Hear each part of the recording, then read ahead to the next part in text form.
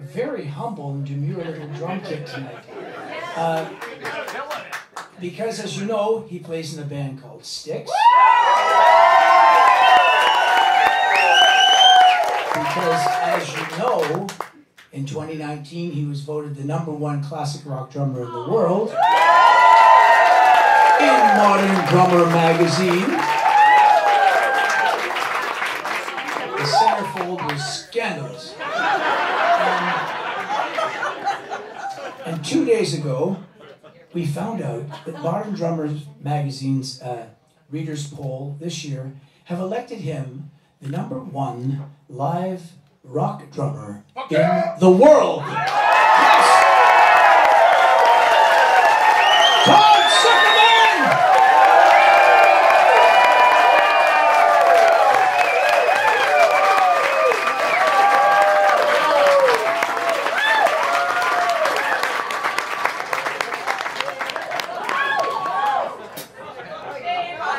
Yeah? Now you're getting your money's worth. All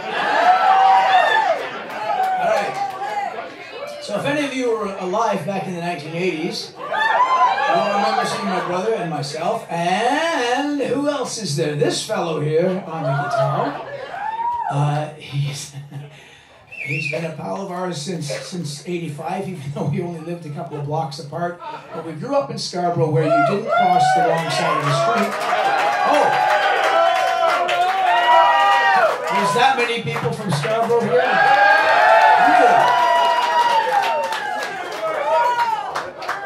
I thought I was the only one who made it out. Uh, Markham and Lawrence, we grew up. Uh, so, so Bob grew up actually right by us, and yet we never met him until we were holding guitar auditions in 1984. And he came over, and we are like, "How did I not meet this guy?" You know. Uh, anyway, he's uh, an incredibly accomplished musician who's played with.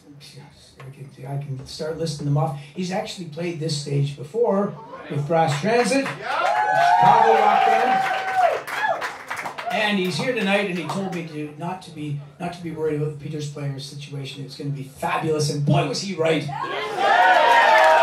Bob McAlpine.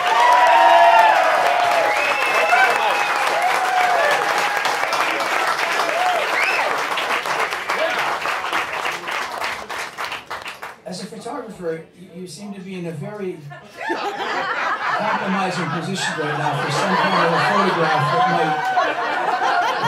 Can I make it easier? Normally, you have to go get a selfie stick and all this stuff. I mean, you know what I'm talking about. So do you, for sure, sir. Yeah. Uh, all right.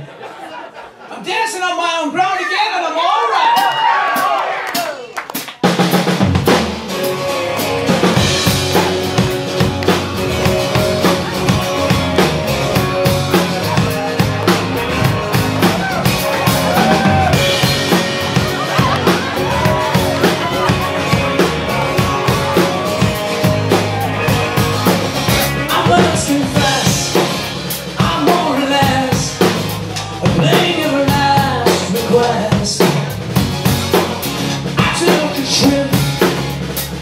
ship.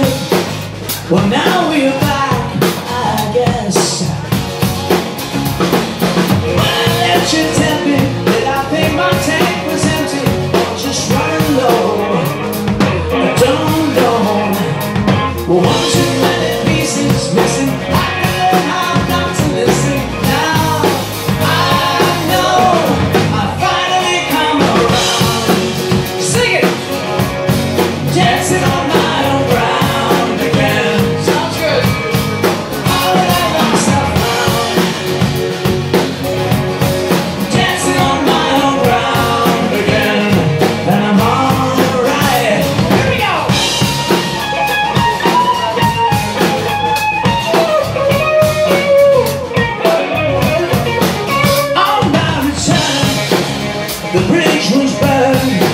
Some